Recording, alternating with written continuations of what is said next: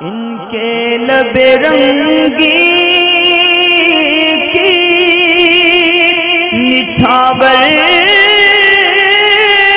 थी कि जिसने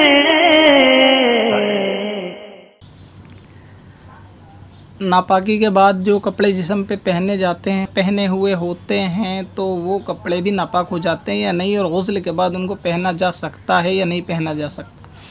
इसके सवाल के जवाब में मैंने एक वीडियो पहले बना दी थी कि आदमी पर किस चीज़ से गसल फ़र्ज़ होता है और किन चीज़ों से गसल फ़र्ज़ नहीं होता। अगर आपने वो वीडियो ना देखी हो तो बर करम आप उसको देख लें। और उसमें शायद इस चीज़ का भी खुलासा किया गया था कि नापाक आदमी कोई पाक कपड़े पहन ले तो वो नापाक नहीं होते। अब यहाँ पे सवाल है इस्लामी बहन की तरफ़ से कि जैसे हालत हैज़ में कपड़े पहने हुए होती हैं तो गसल करने के बाद अगर उन कपड़ों को दोबारा पहनना चाहें तो पहन सकती हैं, ये नहीं पहन सकती। इसी तरह बहुत सारे नापाक आदमी, जैसे हम बिस्तरी के बाद अगर वो जो पुराने कपड़े पहने होते हैं तो तहारत हासिल करने के बाद वो फिर से दोबारा उसी कपड़ों को अगर पहने तो क्या उन पर गसल फ़र्ज़ हो जाएगा? ये नहीं हो जाएगा।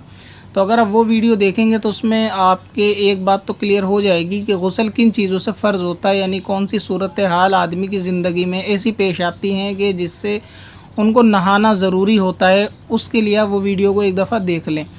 और रहा ये कि नापाक आदमी अगर पाक कपड़े पहन ले तो उससे वो कपड़े नापाक नहीं होंगे।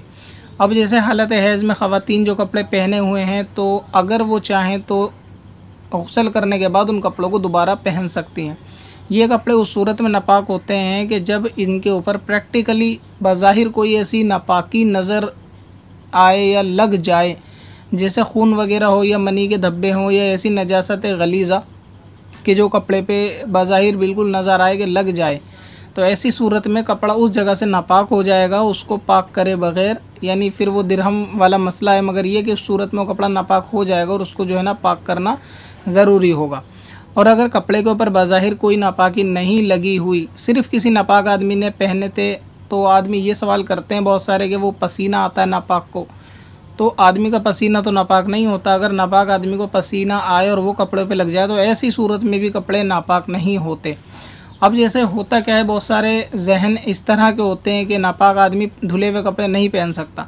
तो इसके कुछ नुकसान इस तरह होते हैं, जैसे हालत हैज़ में ख़वान के कपड़े बहुत ज़्यादा मेले कुचेले हो जाते हैं तो वो इस ख्याल से तब्दील भी नहीं करती कि जब गसल करके फ़ारिग होंगे तो उसी सूरत में धुले हुए कपड़े पहने जाएँगे, वरना ये कि धुले हुए कपड़े पहनेंगे। तो फिर वो कपड़े नापाक हो जाएँगे। तो ऐसा नहीं है अगर घर के अंदर ऐसा माहौल है कि कोई मेहमान वगैरह आने वाला है या कोई ऐसी सूरत हाल है किसी प्रोग्राम का कि जहाँ पे लोग जमा होंगे तो ऐसी सूरत में अगर हालत हैज़ में बग़ैर गसल किए भी ये धुले हुए कपड़े पहने और उन्हीं कपड़ों को फारिग होने के बाद, यानी गसल से फारिग होने के बाद दोबारा भी पहन ले तो इसमें कोई हरज नहीं है। बशर्ते ये कि उसके ऊपर ज़ाहरी तौर से कोई निशान, कोई नजासत नहीं लगनी चाहिए। तो इस सवाल की कैफियत से तो मालूम ये चलता था कि जैसे अभी गसल में एक दो दिन बाकी हैं और कपड़ों की हालत बहुत गंदी होती है तो क्या उनको ऐसे ही पहने रहें या फिर गसल के बाद दोबारा तब्दील कर लें? तो इसका जवाब मैंने दे दिया। आप चाहें तो कपड़े तब्दील कर लें। गसल करने के बाद फिर दोबारा से नए धुले कपड़े पहनने की ज़रूरत नहीं, उन्हीं कपड़ों को फिर से पहन लें। इसी तरह हम बिस्तरी के बाद जो आदमी ऊपर के कपड़े, यानी कुर्ता वगैरह या ख़वातीन जो ऊपर के कपड़े पहने हुए होती हैं तो ऐसी सूरत में भी वो कपड़े नापाक नहीं होते।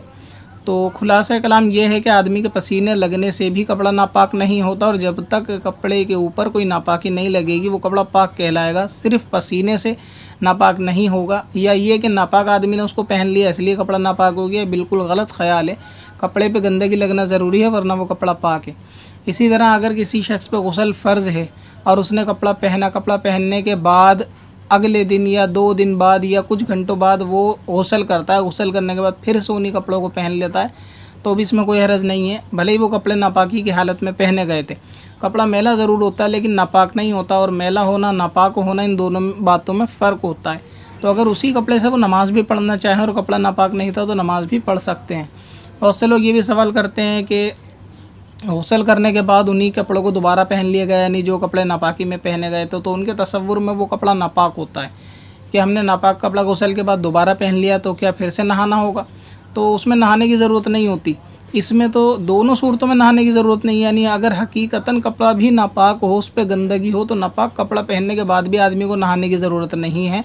यानी गसल की गसल उस पर फ़र्ज़ नहीं होता, नापाक कपड़ा वाकई में है तब भी।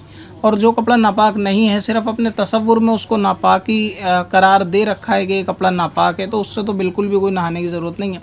लिहाजा इस्लामी बहनें भी अगर हालत हैज़ में धुले हुए कपड़े, साफ़ कपड़े पहनना चाहें, और पहनने भी चाहिए, अगर हालत ज़्यादा ही कपड़ों की ख़राब है तो सफ़ाई के अहतमाम की वजह से कपड़े जो है ना वो पहन सकती हैं। बाद में गसल के बाद उन्हीं कपड़ों को फिर से पहन सकती हैं। इसी तरह इस्लामी भाई भी अगर कुर्ता वगैरह या शलवार पे कोई गंदगी नहीं है नापाकी की हालत में उनको पहन पहनना चाहें तो वो कपड़े नापाक नहीं होंगे। फिर दोबारा उसको पहन लें और उससे नमाज़ वगैरह भी पढ़ लें। अगला सवाल वज़ू पत्थर में हसन पुरनवार।